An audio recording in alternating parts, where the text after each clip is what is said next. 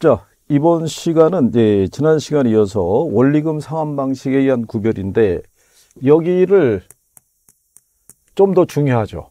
예. 여기는 이론도 낼 수 있고 이 계산 문제도 낼 수 있는데요. 일단 이론적인 차원에서 보면 원리금 상환 방식이잖아요. 예, 그래서 우리가 강의할 때 말씀드렸지만 원금 균등 상환 방식은 말 그대로 원금을 균등하게 상환하는 방식이에요. 그래서 원금은 균등하게 상환이 이루어지는데 이자는 시간이 갈수록 줄어든다는 얘기는 우리가 이자의 계산은요. 대출 잔액에다가 이자율을 곱해서 이자를 구하는데 상환이 이루어지니까 잔액이 줄어들 거 아니겠어요? 근데 이자율을 고정 이자율을 적용하니까 이자는 계속 감소하겠죠. 그래서 원금 균등 상환에서는 원리금이 시간이 가면서 점점 줄어드는 구조를 갖고 있다는 거 요거를 이제 이론에서 하나 알아두셔야겠고 그 다음에 원리금 균등 상환 방식에서는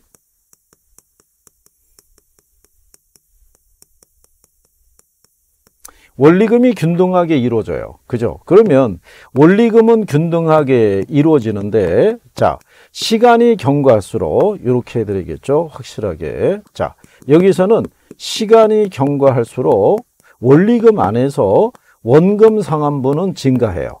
근데 이자는 역시 감소해요. 자 그러면 이자가 감소한다는 것은 원금 균등이나 원리금 균등이나 동일하다는 얘기죠. 그 이유는 잔액이 줄어들고 고정 이자율이니까 이자는 계속 감소하는 형태다라고 여러분들이 생각을 하셔야 돼. 그래서 원리금 균등 상환 방식에 대한 부분에서는 요거를 이제 기억하시면 되겠고 왜냐하면 우리가 체증이라고 얘기할 때는요. 자, 원리금이 얘는 체증하는 방식이에요. 그죠? 그러니까 시간이 경과할수록 원리금이 늘어나는 구조니까 요거는 미래 소득이 증가할 거라고 예상이 되는 예, 뭐 신혼 부부 등에 적합한 방식이다. 라고 이제 우리가 얘기를 하죠. 예.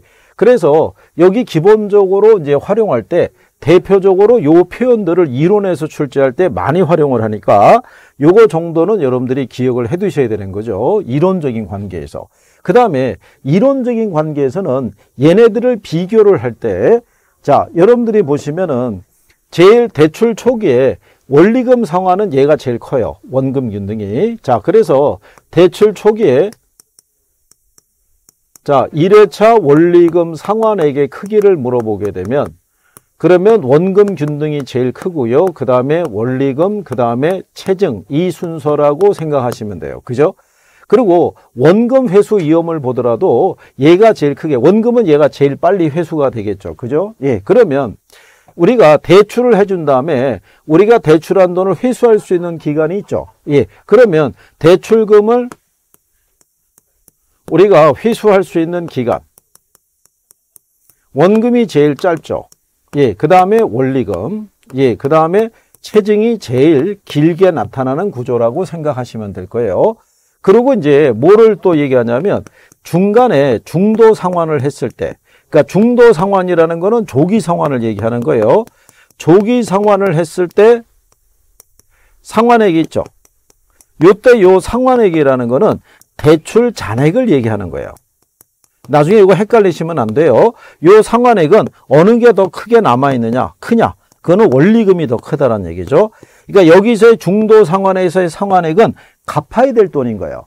그러니까 원금 균등이 너무 많이 갚았기 때문에 대출 중간에 중도 상환했을 때는 원리금 균등에 갚아야 될 돈이 더 많이 남아 있다는 거.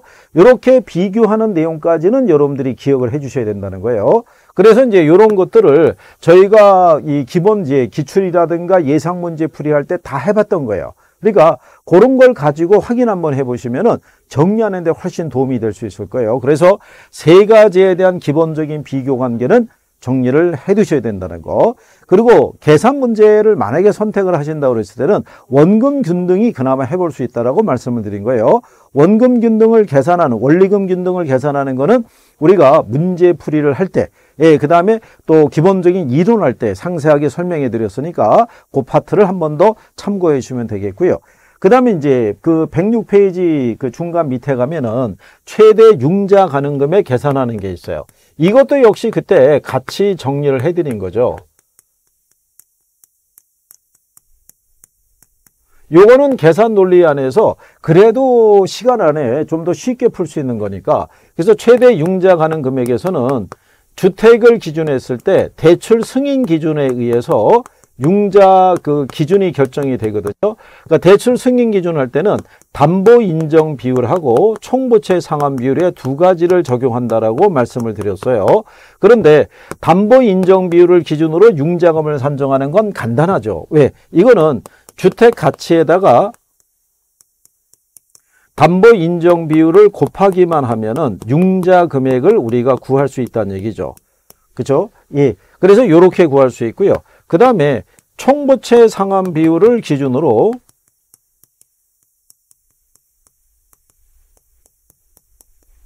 자, 융자금을 우리가 계산할 때는 여기서는 자, 여기가 연저당 상수가 되고요. 아, 여기가 이제 연소득에다가 그죠? 예. 그다음에 DTI 비율을 곱하고 기타 부채가 있으면 이제 이걸 공제하면 되는데 그리고 여기서는 계산 문제가 나왔을 때 뭐를 알아두시면 되냐면 융자 가능을 물었을 때 자, 최대 융자 금액이 얼마냐? 그 다음에 추가로 융자를 받을 수 있는 금액이 얼마냐? 문제에서 알려줘요. 그래서 만약에 추가로 융자를 받아야 된다 그러면 여기는 기존 대출금이 있는 거예요. 그러니까 나중에 융자 금액을 구한 다음에 기존 대출금을 공제해야 된다는 사실도 꼭 기억해 두셔야 돼요. 그냥 융자가 없다는 가정에 속할 때는 그냥 단순 대입인 거예요. 그죠?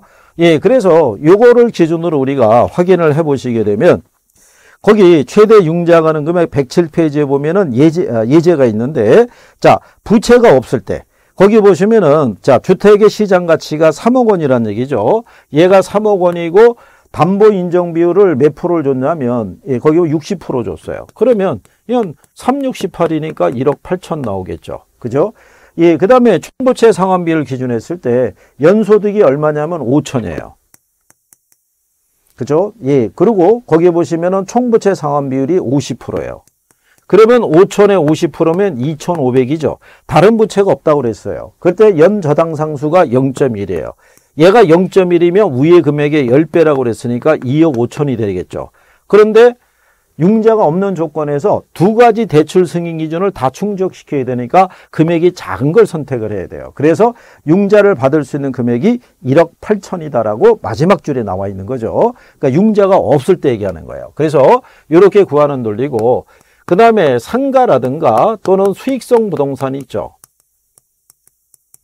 여기서의 대출 승인 기준을 보게 되면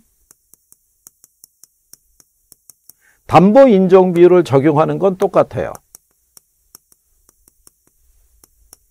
그러니까 여기도 이 상가의 가치에다가 이거 곱하시면 돼요. 그러면은 이제 융자 금액을 구할 수 있다 이런 얘기죠.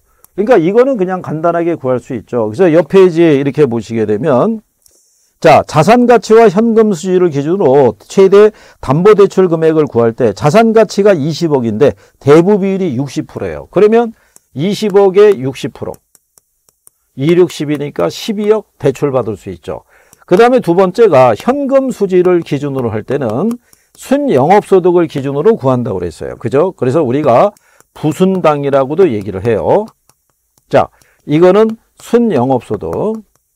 여기는 부채 감당률. 여기에다가 저당 상수를 곱해요. 그래서 우리가 부순당이다. 예, 이렇게도 얘기를 해요. 예. 그럼 이제 빵집 이름 같이. 예. 그러면 이 조건은 다 주어지거든요. 거기 보면 순 영업소득이 얼마냐면 1억 2천이라고 이렇게 주어져 있죠. 예. 예, 그리고 이제 부채 감당률이 얼마냐면 1.5를 줬다는 얘기죠. 그리고 저당 상수가 0.1이니까 곱하면 0.15가 나오겠죠. 1억 2천을 0.15로 이렇게 할인하시게 되면 그러면 8억 원이 나와요. 그러면 이 자산 가치를 기준했을 때는 12억이고요. 현금 수지를 기준할 때는 8억 원. 이렇게 융자를 받을 수 있다 이런 얘기예요. 예. 그래서 이런 식으로 주택하고 상가, 수익성 부동산을 기준으로 구할 때 이렇게 대입하는 요령 정도 알고 계시면 계산 문제가 하나 나오면 그래도 주로 얘가 많이 나왔어요. 근데 가끔 몇해한 번씩 이 수익성 부동산에 대한 융자 금액을 구하는 것도 얘기를 하니까 요두 가지 정도는 계산 논리상에서 저희가 추천하는 것 중에 하나니까 예, 정리해 두시는 게 필요하겠죠. 예. 자, 그래서 이제 금융에 관한 이제 기본적인 거를 저희가 한번 해봤고요. 그 다음에 이제 두 번째로는 증권에 대한 거를 우리가 해보는 거죠. 그러면 이 증권이라는 거는 왜 필요하냐면요. 뭐 기본적인 성격은 우리가 앞에서 다 말씀을 드린 거죠. 일반적인 은행에서 대출을 해주게 되면 가지고 있는 게 저당 채권밖에 없어요. 그죠? 근데 이 저당 채권은 현금이 아니잖아요. 말 그대로 권리일 뿐이지. 그러면 이게 은행 입장에서는 장기 대출을 꺼릴 수밖에 없죠. 근데 보유하고 있는 저당 채권을 유동화, 현금화할 수 있다 그러면 그 그러면 이 유동성 문제나 이런 것들이 많이 해소가 될 수 있고 주택금융이 좀 더 활성화될 수 있다라고 이렇게 생각하면 되겠죠. 그래서 이런 유동화 제도 안에 가게 되면 자산 유동화 제도, 주택 저당 채권 유동화 제도, 부동산 투자 회사 제도의 세 가지가 있는데 그 중에 부채 금융의 대표적인 게 주택 저당 채권, 그 다음에 지분 금융의 대표적인 게 리치. 그러니까 부동산 투자 회사 제도니까 그 두 가지에 대한 거는 기억을 해 주셔야 되더라 이런 얘기죠. 그래서 이 부동산 증권에서 제일 먼저 우리가 주택 저당 채권 유동화 제도에 대해서 예, 이거를 이제 교과서들마다 표현은 좀 다른데요. 이거를 저당의 유동화 제도 뭐 이렇게도 표현할 수 있는 거죠. 예, 왜냐하면 금융기관에서 융자를 해주고 우리가 저당권 설정하죠. 그 저당권에 관한 권리 즉 소유권이라든가 원리금을 수취할 수 있는 권리를 갖고 있는 걸 저당 채권이라고 그래요. 그래서 주택 저당 채권을 예, 유동하는 제도다라고도 얘기를 하는 경우죠. 그러면 여기에 따른 유동화 제도의 파급 효과를 보시게 되면 그러니까 뭐 이런 얘기가 되겠죠. 여기 만약에 금융기관이 있어요. 금융기관은 불특정 다수의 고객들로부터 예금을 우리가 수신을 받아서 불특정 고객에게 대출을 해주거든요. 예. 그런데 고객이 맡긴 예금은 단기 자금이고 대출은 장기로 운영이 되는 거죠. 예. 그러면 1년 단위의 자금을 조달해서 10년 이상의 이 기간으로 대출해 주게 되면 은행 입장에서는 주택 고객이 소유한 주택에다가 뭐를 설정하냐면 저당권을 설정을 하고 돈을 대출해 주는데 문제는 이건 채권일 뿐이지 이거는 현금이 아니잖아요. 그러면 고객이 맡긴 예금을 찾으러 올 때는 줄 돈이 없으니까 금융기관의 입장에서는 장기 대출을 꺼릴 수밖에 없고 주택금융의 활성화가 되지를 못한다는 문제가 있을 수 있다는 얘기죠. 그럴 때 금융기관이 보유하고 있는 저당 채권을 만약에 매매할 수 있다면 그죠? 예. 그러면 현금이 그만큼 다시 들어올 거 아니에요. 그러면 이런 문제가 많이 해소될 수 있다는 얘기죠. 그래서 그 효과 안에 보게 되면 특히 금융기관이 있죠.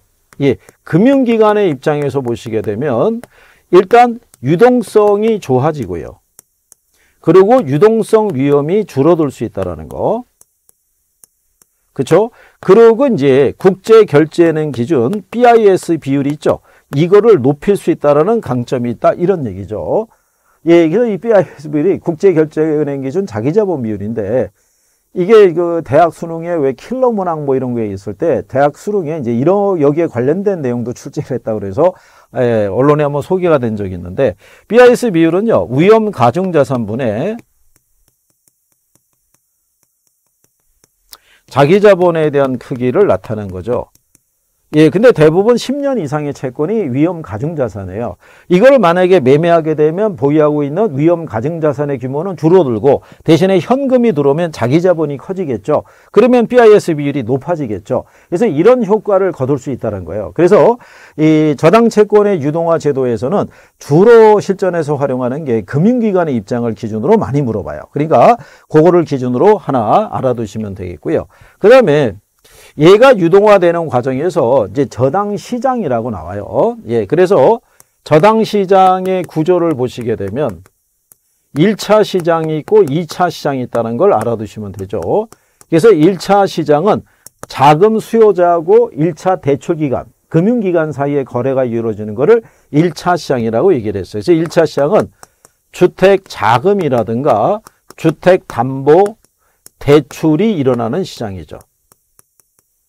그리고 이제 2차 시장은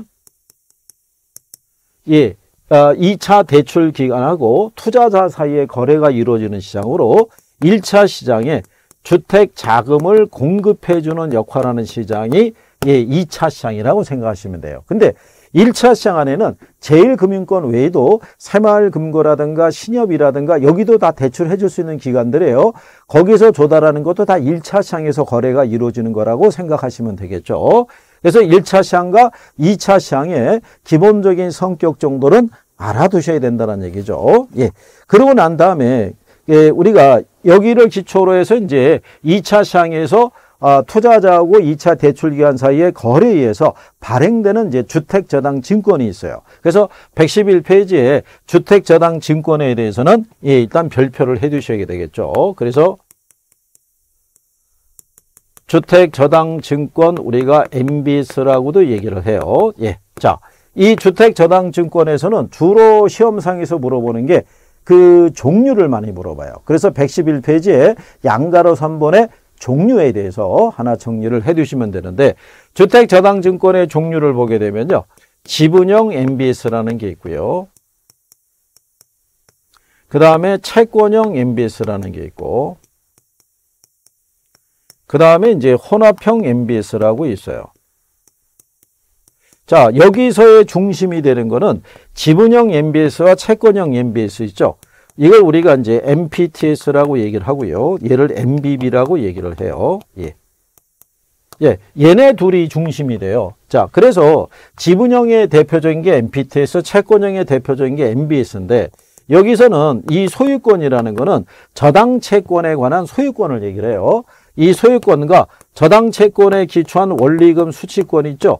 이거를 누가 가지고 있느냐에 따라 구별이 이루어지는데 MPT에서는 이 다 투자자가 갖게 돼요. 수익권과 원리금 수취권을 예. 자 그런데 채권형에서는 이걸 전부 다 발행자가 갖게 돼요. 그래서 이걸 누가 갖고 있느냐에 따른 구별이에요. 근데 우리가 MBB는 전부 다 비읍 비읍이니까 다 발발발이라고 얘기했어요. 원리금 수취권을 갖고 있는 애가 조기 상환 위험도 같이 부담한다라고 얘기했던 거예요. 예. 그래서 여기도 그냥 투자자가 여기도 그냥 발행자가 예, 이거를 가 부담한다라고 생각하시면 돼요. 예. 자, 그랬을 때 여기 보시면 얘네가 혼합형이라는 것은요. 자, 혼합형에 들어가는 게 MPTB가 있고요. 그 다음에 CMO가 있어요. 예. 여기서 얘네들은 소유권을 발행자가 갖고 있다는 점에서는 MBB하고 성격이 같다는 얘기예요. 그 얘기는 소유권을 투자자가 갖고 있는 건 MPTS밖에 없어요. 대신에 원리금 수취권은 다 투자자가 갖는 거예요. 그러니까 원리금 수취권을 발행자가 갖는 건 또 MBB밖에 없는 거예요. 그러면 이거 원리금 수취권을 갖고 있는 게 조기 성환 위험도 같이 부담하니까 그래서 얘네는 요게 결합이 돼 있다 해서 혼합형이라고 얘기하는 거예요. 그런데 여기서 이렇게 나올 때는 우리가 구별도 할 수 있을지 몰라요. 하지만 지문으로 구성이 돼 있어서 뭐 이렇게 나오는 거죠. 자, MPTS, 그 다음에 MPTB, CMO의 공통점은 조기 상환 위험을 투자자가 부담한다는 것이다. 이렇게 이제 묶어서 이렇게 이론으로 나올 때는 여기는 우리가 이렇게 정리했지만 지문이 이렇게 나오면은 얘네가 이해가 돼야 된다는 얘기거든요. 여기 보시다시피 자 조기 상환 위험을 투자자가 부담하는 건 예, 예, 예니까 맞는 표현이겠죠. 예. 그러니까 이런 식으로 인용이 되는 것까지 가늠을 할 수 있어야 돼요. 물론 나중에 모의고사에서 우리가 이제 이런 것도 문제로 접하게 해드려요. 하지만 내가 이런 기본적인 구조가 정리가 되어 있는지가 꼭 필요하다는 얘기겠죠. 그래서 이런 기본적인 구조에 대한 이해가 바탕이 되어 있으면 문제를 좀 더 쉽게 풀 수 있다는 거예요. 그래서 그런 내용 정도는 구별을 해달라는 거. 최소한 요거 정도는 구별을 해야겠고요. 이 안에서 우리가 세분해서 좀 더 알아둔다 그러면 여기 있는 CMO가 있어요. CMO만 계층이 여러 개로 되어 있어요. 다계층으로. 그래서 얘는 원금이 지급되는 순서하고 만기가 다 상이에요. 왜냐하면 이 안에 계층에 보면요. 만기가 예를 들어서 3년짜리도 있고 5년짜리도 있고 10년짜리도 있고 20년짜리도 있고 이렇게 만기가 다양하게 돼 있으니까 이자율의 크기도 틀리고 그죠? 예, 위험의 크기도 다 다를 수밖에 없는 거예요. 그래서 이 중에 여러 개의 계층으로 구성이 되는 건 CMO 다계층 하나밖에 없다는 것도 꼭 기억을 해 두셔야 된다는 얘기죠. 여기를 아주 어렵게 주진 않아요. 그러니까 기본 성격만 알아도 답을 찾을 수 있게 해주니까 그런 정도를 구별하시면 되겠고요. 필요한 사항에 대해서는 예, 거기 우리가 또 상세하게 내용으로 이렇게 쭉 풀어놨으니까 한 번 정도는 또 정독을 해주시는 게 필요하고 이 정도는 필수적으로 정리를 해 두셔야 된다는 얘기죠. 그리고 이제 거기에 대한 부분에서 예, 114페이지 상단에 가게 되면 얘네들의 투자 특성 비교라고 해서 또 박스로 정리가 되어 있어요. 그래서 그거 예, 여러분들이 구별해 주시면 되겠고요. 예. 자, 그 다음에 이제 옆에 이제 가시면 이제 한국주택금융공사라고 있어요. 아, 근데 요 주택금융공사가 이제 내용이 들어가 있을 때 여기서 우리가 이제 대표적으로 운영하는 게 보금자리론하고 주택연금 정도 알아두시면 되겠는데요. 주택금융공사에서 우리가 취급하고 있는 게 보금자리론이라는 게 있고요. 그 다음에 주택연금이라고 있어요.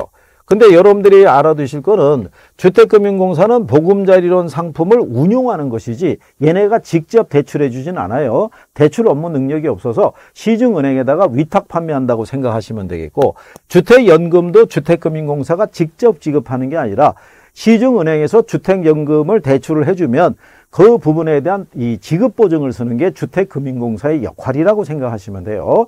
그래서 일단 보금자리론에서는요.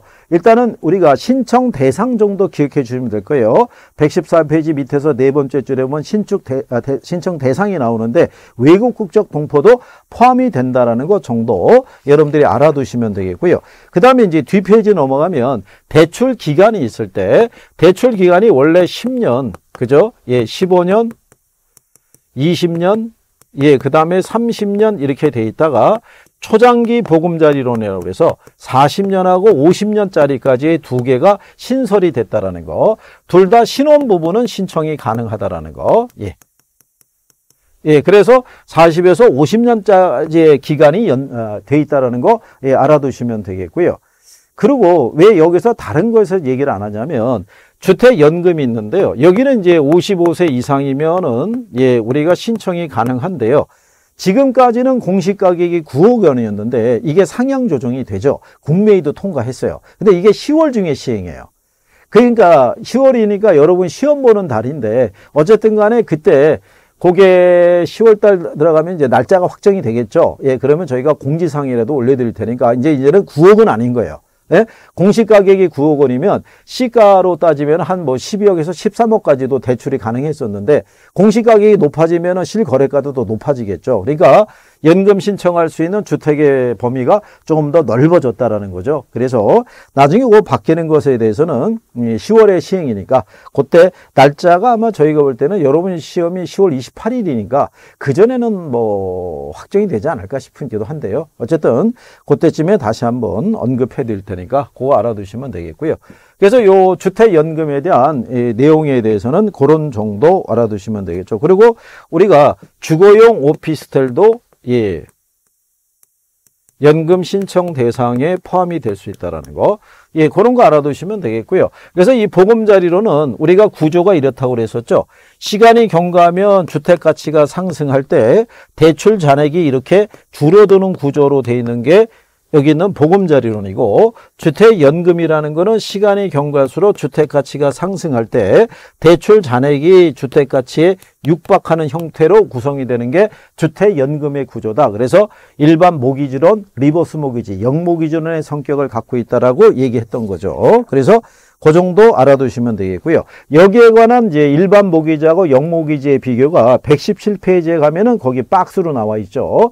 예, 그 정도 또 추가로 정리해 두시면 되겠고요. 또 하나 우리나라에서는 주택연금 말고요. 농지연금 제도도 현재 운용이 되고 있어요. 대신에 산지연금은 아직 도입이 안 돼 있다는 거. 예. 여기까지는 추가로 정리하는 게 필요하실 거예요. 농지연금은 농어촌진흥공사에서 현재 운영하고 있다. 예, 이렇게 여러분들이 생각하시면 될 거예요. 자, 그 다음에 부동산 투자회사 제도가 있어요. 얘네도 꾸준히 나올 수 있는 파트이기 때문에 이 기본적인 성격이나 이런 것들은 정리를 해 두셔야겠고요.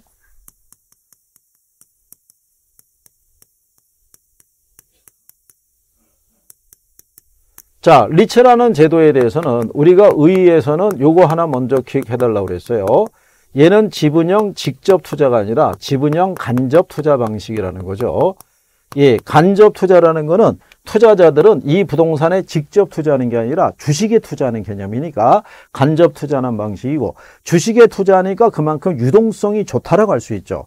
내가 그 부동산에 직접 투자하면 걔를 매각해야지만 내가 현금할 수 있는데 주식에 투자했으니까 내가 보유하고 있는 주식을 매각하기만 하면 내가 금방 현금할 수 있다는 거죠. 예, 그래서 지분형 간접 투자 방식이라는 거. 그래서 이 부동산 투자 회사의 특징이라는 것은요. 얘를 고가의 부동산이지만 주식으로 전환을 해서 현금하는 거기 때문에 소액 투자자들도 우리가 쉽게 투자할 수 있다라고 얘기할 수 있다는 얘기죠. 그리고 이제 아 요거는 거래 투명성이라는 거는 주식 시장을 통해서 거래되니까 예, 모든 거래가 다 공시가 되죠. 예, 그래서 그런 것들이 우리가 특징이라고 보시면 되겠고요. 우리나라의 부동산 투자 회사 제도를 봤을 때 일단 회사가 자기관리 부동산 투자 회사가 있고요. 위탁관리 부동산 투자 회사가 있고 그 다음에 기업 구조조정 부동산 투자 회사가 있었을 때 원래는 이제 자기 관리하고 기업 구조조정이라고 그래서 일반 리츠, CR 리츠 두 개만 있다가 위탁 관리가 이제 하나 더 들어온 거죠. 왜 그러냐면 얘는 90% 이상 배당해 주면 법인세 감면을 받는데 얘는 그게 혜택이 없어요. 그래서 얘를 만들어서 얘도 90% 이상 배당하면 혜택을 받도록 만들어진 회사가 위탁관리라고 보시면 될 거예요.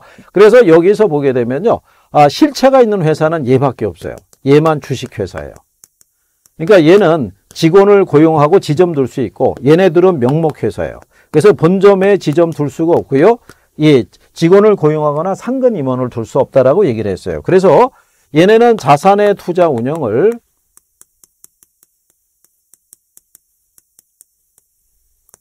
얘네는 직접 해요.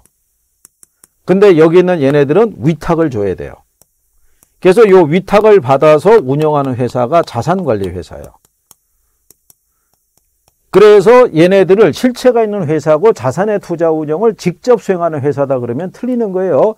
얘네들은 자산관리 회사에다가 위탁을 두고 관리를 하도록 돼 있다 이런 얘기죠. 그래서 이런 부동산 투자 회사 제도의 기본적인 성격도 출제한 거예요. 박스로. 무슨 회사에 대한 내용이냐라고 얘기하는 경우죠. 예, 그래서 자기관리, 위탁관리를 답으로 이렇게 유도했던 거예요. 그래서 실체가 있는 회사는 자기관리밖에 없어요. 그래서 여기 있는 얘네들은 명목회사이기 때문에 자산의 투자 운영을 자산관리회사에다가 위탁을 해야 돼요. 그래서 우리가 직원을 이제 관리 감독하기 위한 내부 통제 기준이 있죠. 그래서 내부 통제 기준은 위탁관리하고 기업구조정은 둘 수가 없고요. 자기관리하고 그 다음에 자산관리회사만 내부 통제 기준을 둘 수가 있어요. 그것도 시험에서 한번 언급이 됐던 내용이죠. 그래서 기본적인 성격에 대해서도 알아두시면 되겠고요. 그 다음에 부동산 투자 자문회사라고 있어요. 이 부동산 투자 자문회사는요.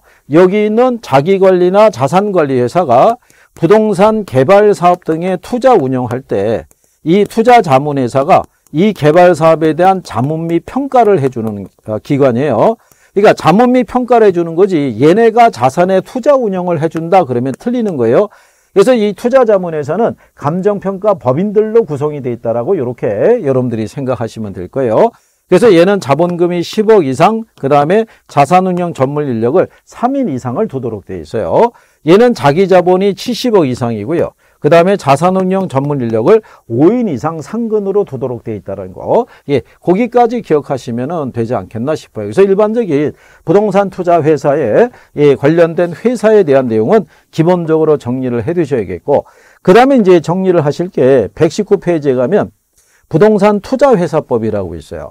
우리가 이 제도를 물어봤으면 그 다음에는 이 법 자체를 물어볼 수도 있어요. 그래서 법에 관한 내용이나 예, 이런 것 등에 대해서 우리가 다음 시간에 이어서 정리를 하고 그 다음에 부동산 개발 및 관리론으로 넘어가도록 하겠습니다.